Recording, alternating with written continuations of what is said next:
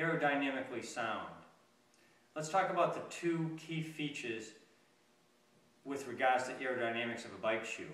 Number one, wind resistance. Our shoe, because of the one-piece design of it, literally cuts right through the air as you go through your power stroke. Number two, decreased stack height. The stack height is the distance between cleat fixation and your foot inside the shoe. And our stack height is much less than all the other shoes out on the market, which means that you can lower your seat and you can lower your aero bars to make you much more aerodynamically sound.